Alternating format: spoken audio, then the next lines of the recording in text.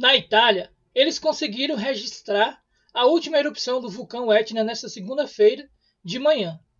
Com a duração de um pulso eruptivo de mais de 30 segundos, uma nuvem de fumaça e poeira disparou para fora do interior do Monte Siciliano. O vídeo foi feito com uma câmera de vigilância ao vivo do vulcão, que é considerado o mais ativo da Europa e um dos mais ativos do mundo.